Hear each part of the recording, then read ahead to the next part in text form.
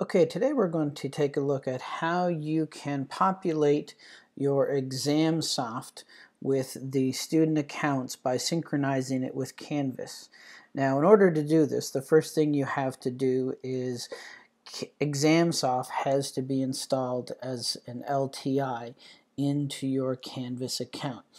And once that's done, then you can do the synchronization. So a system administrator needs to make sure that the uh, ExamSoft LTI has been integrated into Canvas before you can proceed with the steps in this video. So first I want to mention that um, this is actually an account of a colleague of mine who's the one who's doing the pointing and clicking here and I am just going to narrate the video that she's doing. So to begin, I'm going to go up and we are going to scroll over this Medicine 3 course up here. And this is the one we're actually going to sync with ExamSoft. So I'm going to click on this Medicine 3 one. And when I get in there, I'm going to go down. The thing I want to look for here is the settings. So I'm going to click on my settings option. And I'm looking specifically for my SIS ID. So I want to highlight this and copy my SIS ID. Then I'm going to go over to my ExamSoft course and I'm going to take a shortcut to get there by going into the courses and then I'm going to click on ExamSoft integration. Now ExamSoft integration is a course that has been set up for us by the system administrator and this is a way in which we can access ExamSoft directly through Canvas using the single sign-on. So I'm going to scroll up and click on the ExamSoft link and you'll see that my ExamSoft opens here inside of Canvas. Uh, you can see that the instance is touro.instructure.com and there's an authorization token that's already been put in there by the administrator. So I'm going to scroll down here now and I want to double check to make sure the user ID type says login ID. And once it's done that, then I can scroll back up and I'm going to click on my courses option. And this is going to allow me to sync a course, a new course into my dashboard here in ExamSoft. So I'm going to scroll down and I'm going to paste the SIS ID that I had into that course ID list.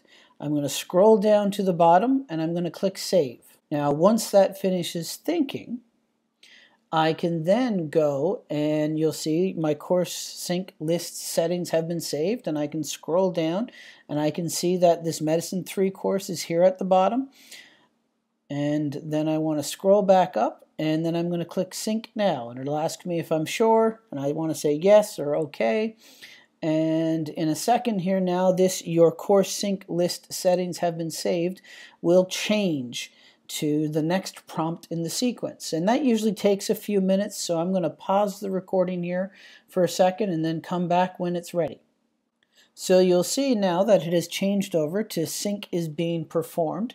And what we were waiting for there was essentially for ExamSoft to make the connection with Canvas so that it was ready to pull in the information. So it hasn't actually started to pull it in yet. Um, it's just ready to pull it in.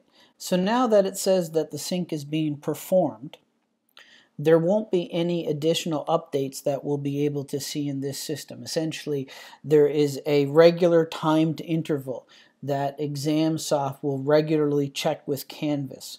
And that might be every 10 minutes, it might be every 15 minutes, it might be every hour. Um, so you want to wait a little bit, and then once you think that period has passed, then we can go and actually check to see if the sync was successful. To check if the sync was successful, I can just log into my ExamSoft account. So you can see I'm in my assessments dashboard here now. Um, that's just where I happened to be the last time I was logged in. And assuming you've got administrator access, and this is important because if you only have instructor access, you may not be able to check this. Only the administrator that does the synchronization will be able to check it for you.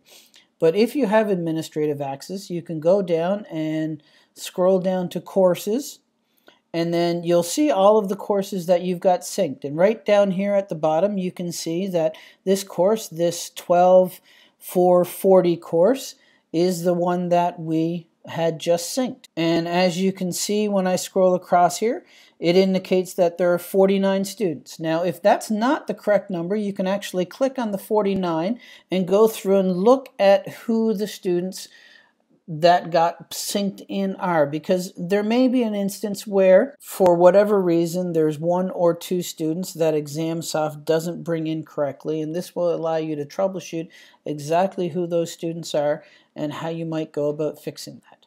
Okay that was a quick video on how you can populate the student accounts in examsoft by synchronizing it with your canvas course